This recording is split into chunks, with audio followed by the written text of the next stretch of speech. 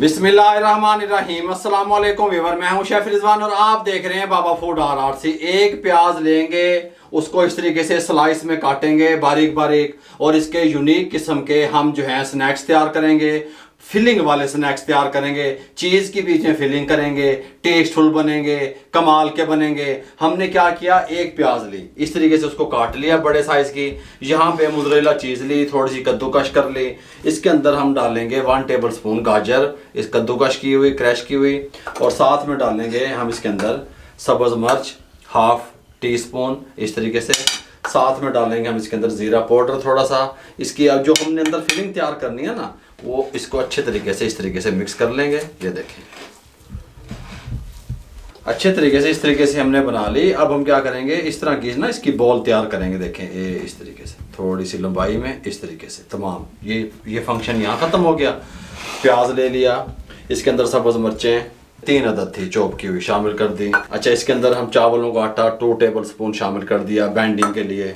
खुश्क धनिया पाउडर मोटा कुटा हुआ one teaspoon red chilli one fourth teaspoon या अपने टेस्ट के हिसाब से। कुटी हुई मिर्च हाफ़ टी स्पून ज़ीरा powder one teaspoon garam masala one fourth teaspoon नमक हाफ़ टी स्पून ठीक इनफ रहेगा। गल समझ आ रही है इस तरीके से? अच्छा हल्दी वन फोर्थ टी स्पून शामिल कर दी। Black pepper one fourth teaspoon शामिल कर दी।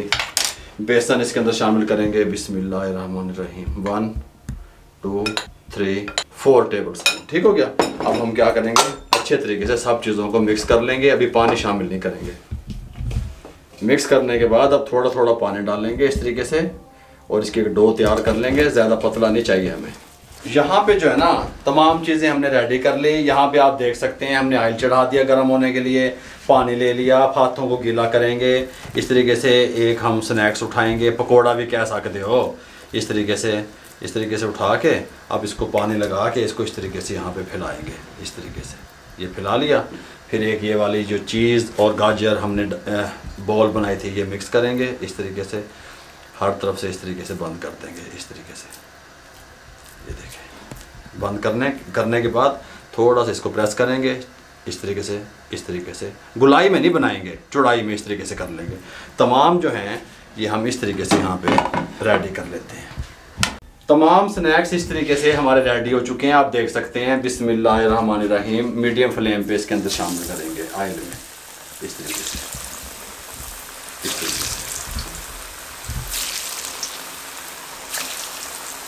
दो से तीन मिनट फ्लेम को मज़ीद कम भी कर देंगे, अगर हाई आपका हो जाता है ना तो दो से तीन मिनट एक साइड से कुक करेंगे, फिर साइड चेंज करेंगे। अलहमदिल्ला स्नैक्स हमारे फ्राई हो रहे हैं, आप देख सकते हैं, इस तरीके से साइड को चेंज कर दें, आराम से, कोई मसला नहीं बनेगा। कमाल की लुक आएगी, जब मेहमान आए, फटाफट से कुछ बनाना हो, कम पैसों में तैयार करना हो ठीक हो गया, फटाफट से ये चीज़ तैयार करके मेहमानों के सामने रख दें। वो आखन के भाई जान कितों लैके आए हो समान? तुम कहना, बाबा जी की रेसिपी बनाया घर के दो से तीन मिनट इस साइड से देंगे, फिर मिलते हैं। टोटल सात मिनट फ्राई टाइम रहा। यहाँ पे निकालेंगे स्टेनर पे। बिस्मिल्लाहिर्रहमानिर्रहीम, कोई मसला नहीं बनेगा, अल्हम्दुलिल्लाह। इस तरीके से कमाल के तैयार होंगे, चीज़ी तैयार होंगे। इस तरीके से हल्का सा इनका जो आयल है ना वो खुश्क हो जाए, उसके बाद इसको डिश आउट करते हैं। टमाटो केचप के साथ आप सर्व कर सकते हैं, रायते के साथ भी सर्व कर सकते हैं। यूनिक से स्नैक्स हमारे रेडी हैं, आप देख सकते हैं किस तरीके से हमने फटाफट से एक प्याज के साथ स्नैक्स को तैयार कर दिया। कट करके दिखाते हैं रहीम ये देखें।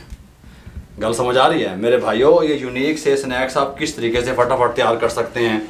मुकम्मल गाइड किया टेस्टफुल बनेंगे, खुशबूदार बनेंगे, कम बजट में बनेंगे। अगर आपको हमारी ये स्नैक्स की रेसिपी अच्छी लगी हो, हमारे चैनल को सब्सक्राइब करके बेल आइकन के बटन को दबा दिया करें। दोस्तों और रिश्तेदारों, अजीज़ों में शेयर कर दिया करें। आप लोगों की सपोर्ट का, आप लोगों की मोहब्बतों का बहुत बहुत शुक्रिया। इजाज़त दीजिएगा। अल्लाह हाफिज़।